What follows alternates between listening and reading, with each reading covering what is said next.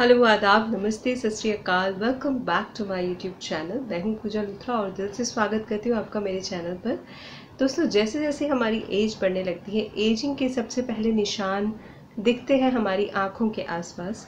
आँखें अंदर की तरफ़ धंसने लगती हैं और रिंकल्स काले घेरे और साथ ही साथ क्रॉस फीट की प्रॉब्लम बहुत लोगों को हो जाती है। तो किस तरीके से आप संकन आइज़ या अंदर धसी हुई आँखों को हील कर सकते हो, किस तरीके से आँखों को प्लम्प बना सकते हो, किस तरीके से आप अंडर आई डार्क सर्कल्स और पफिनेस को रिड्यूस कर सकते हो, यही आज मैं वीडियो में बताने वाली हूँ। बहुत सिंपल तरीका है डेली प्रैक्टिस करेंगे तो विद इन सेवन डेज़ आपको रिलीफ मिलेगा। और इनफैक्ट इससे आपकी आँखों की रोशनी भी तेज़ होगी बिकॉज़ हम आँखों के आसपास की मसल्स को स्ट्रेंथन करने वाले हैं, जिससे आपकी आई साइट भी इम्प्रूव होगी साथ साथ आई रिंकल्स और पफ़ी आइज़ या संकन आइज़ या ड्रूपी आइज़ की प्रॉब्लम से तो छुटकारा मिलेगा ही।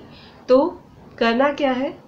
सिंपल सी मसाज करनी है, जिसमें हम एक्यूप्रेशर पॉइंट्स को भी स्टिमुलेट करेंगे, साथ ही साथ मसल स्ट्रेंथनिंग एक्सरसाइजेस भी करेंगे। सबसे पहले आप कोई भी ऑयल अपने हाथ में ले लीजिएगा। आप नारियल का तेल ले सकते हो बादाम रोगन ले सकते हो ऑलिव ऑयल ले सकते हो या अगर कोई फेस सेरम आप यूज़ करते हो वो ले सकते हो या देसी घी भी ले सकते हो। देसी घी में एजेंशियल फैटी एसिड्स होते हैं जो कि आपके आँखों के आसपास के एरिया को बहुत अच्छे से नरिश करते हैं। मैं यहाँ पर ले रही हूँ तीन से चार ड्रॉप्स ऑलिव ऑयल इसको हम अपने हैंड्स में ही इस तरीके से रब करेंगे ताकि हल्का सा वार्म हो जाए ऑयल और जब ये वार्म ऑयल आप अपनी आँखों के आसपास लगाएँगे मसाज करेंगे तो आपकी सारी थकान दूर हो जाएगी। तो सबसे पहले आप इस तरीके से आँखों के अराउंड ये ऑयल अप्लाई कर लेंगे।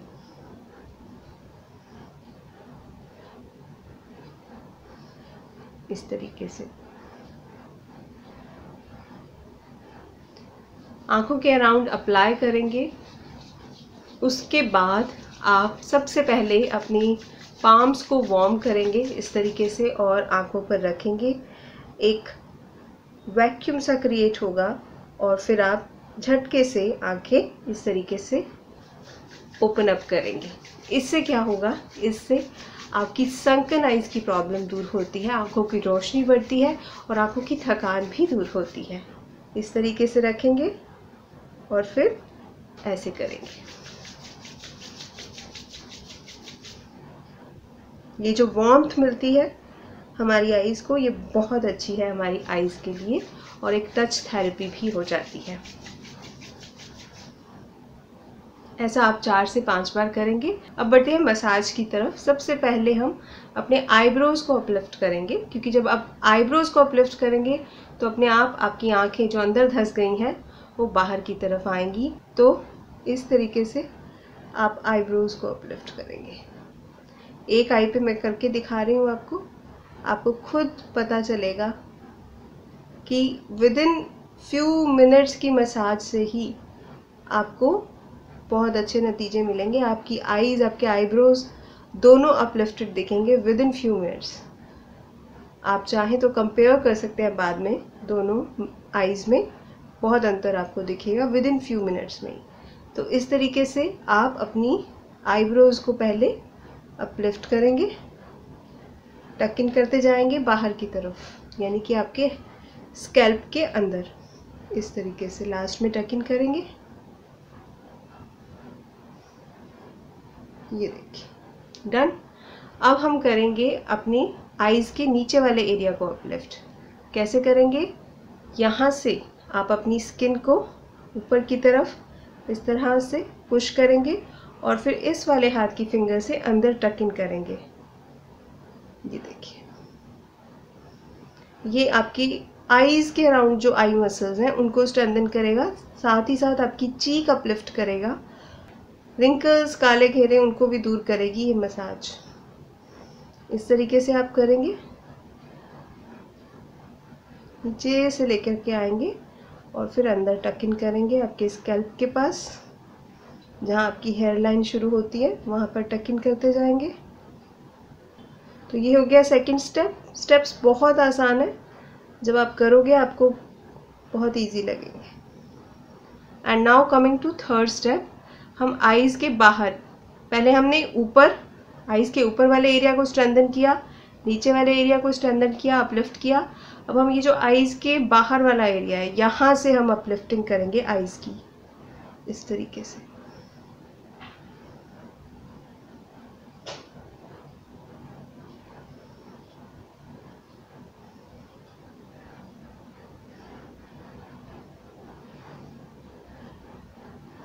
आपको अभी डिफरेंस दिख रहा होगा मेरी दोनों आँखों में।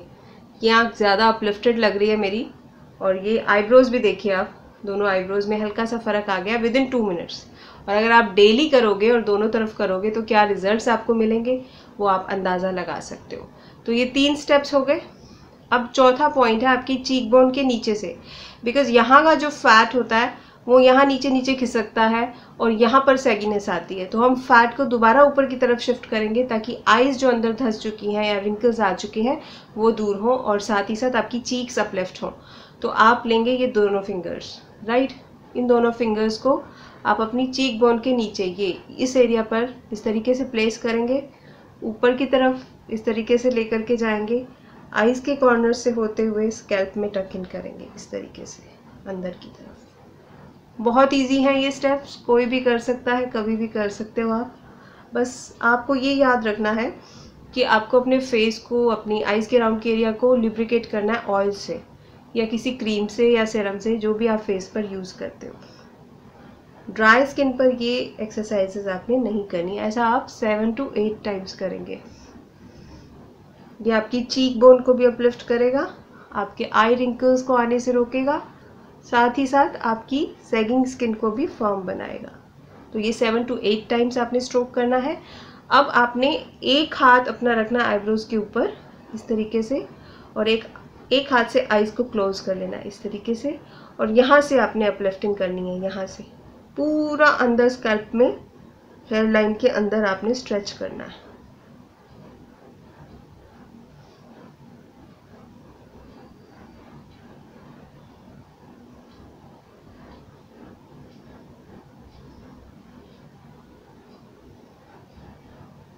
ऐसा आपने टेन टू ट्वेल्व टाइम करना है।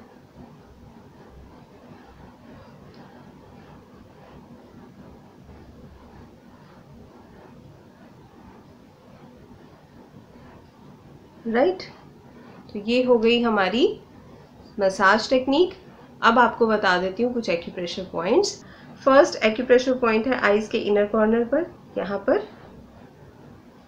15 से 20 सेकेंड्स के लिए एक एक्यूप्रेशर पॉइंट को स्टिमुलेट करना है।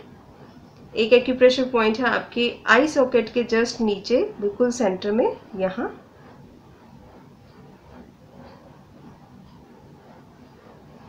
एक एक्यूप्रेशर पॉइंट है आपकी आईज के कॉर्नर पर। एक एक्यूप्रेशर पॉइंट है आपके आईब्रो के कॉर्नर पर और टेंपल पर।